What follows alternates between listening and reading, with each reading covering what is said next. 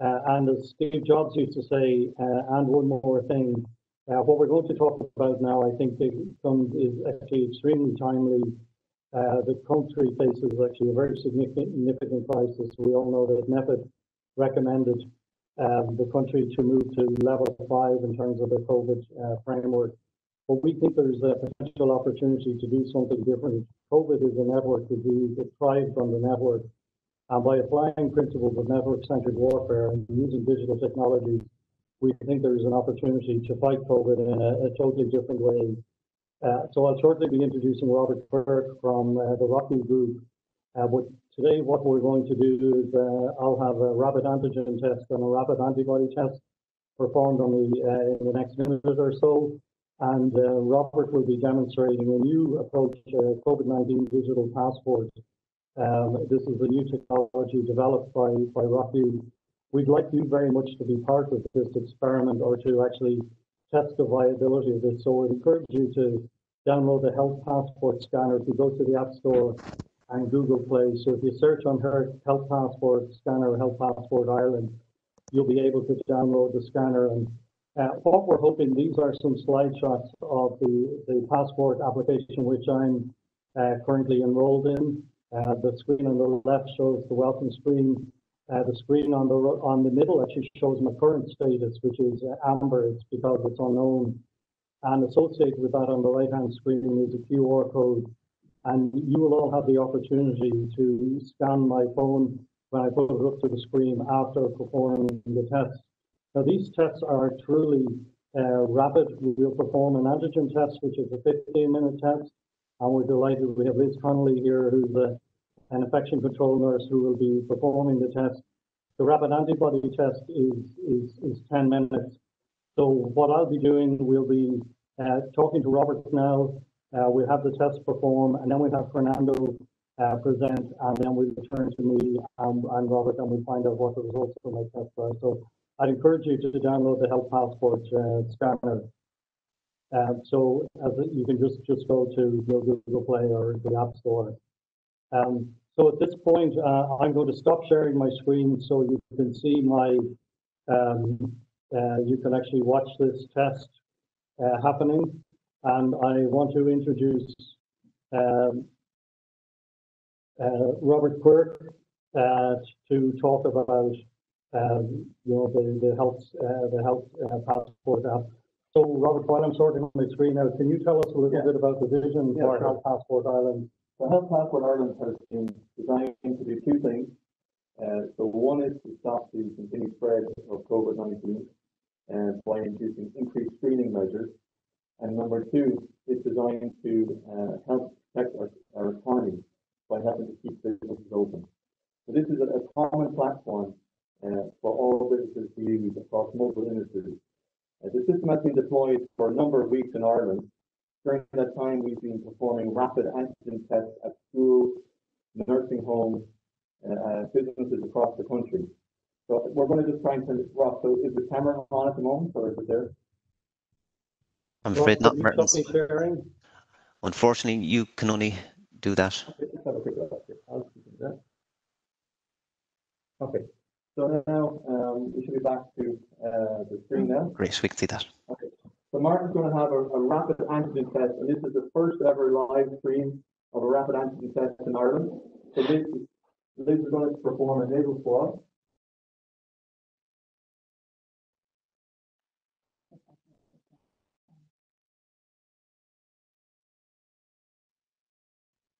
So this is a shallow nasal swab, which is only two centimeters deep. While that's being uh, processed now, it's being put into an analyzer, uh, and the results of that will be available in about, uh, about uh, 15 minutes. So this here is a cartridge which the sample is put into, and I will show you the analyzer just a moment. So now Mark's going to have uh, a very quick IgM antibody test. It will take about 10 minutes. So what, what happens now is that um, right now, this Ireland is about to go into a level five lockdown, and that means that businesses, travel, um, is going to completely shut down, which leads to a loss of jobs and a really hard impact on our economy. So using systems like the Health Passport Ireland and the Health Passport Scanner, uh, is going to absolutely help to, to reduce that. It even means that instead of going to a level five, we could be brought to a, uh, you know, either level two or level three by having increased screening. So we've been working with the leading pharmacy groups in Ireland, and we brought all the parties to the table, which means that, um, this is ready for a national deployment. We want to make sure that rapid testing is available to all people at all times for a very, very affordable price. And so we put that Martin there. So what, what we're going to do is going to wait for the results to come in, and Martin's health passport will be updated. So you can see Liz here what she's doing. This is taking the sample. Yep. Into the analyzer. We can send you a bit of this, this later on. As I said, um, this technology is currently being used all across Europe. It's getting people onto planes, and it's, it's, uh, at the weekend, it's been approved for use in all schools in Italy. So we have to take steps forward here in Ireland by combining rapid testing uh, for antigen uh, and also combining the mobile technology and the health passport system to enable our economy to continue. Well, thank you, Robert. So we're going to return in fifteen minutes, uh, to the test. We'll see the results and I'll be talking to Robert. Uh, how could this solution be potentially used in the current situation that Ireland finds itself? So I'm going to hand back to you, Ross, and you're going to introduce Fernando.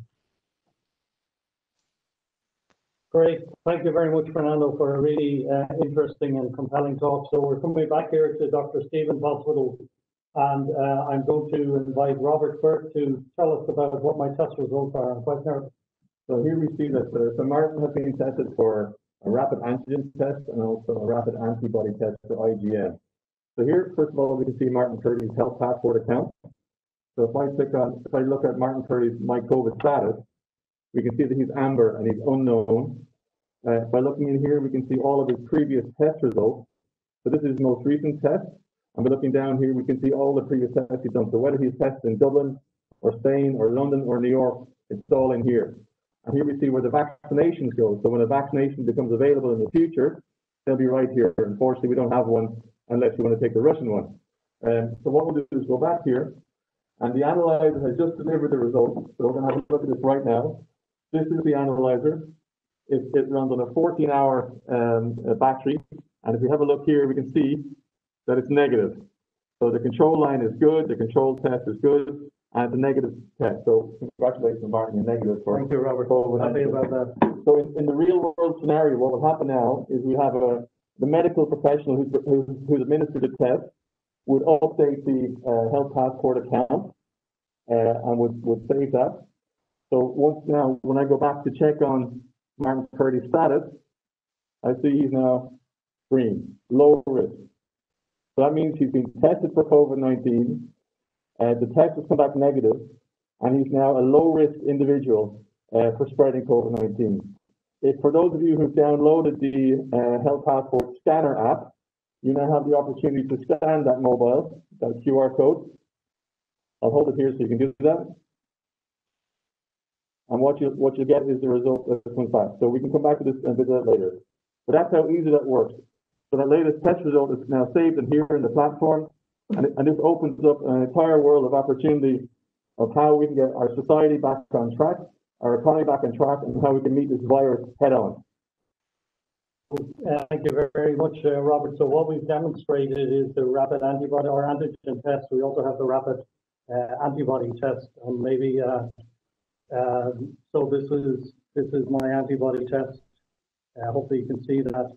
And also, um, I I came negative on that. I don't have any uh, COVID-19 antibody.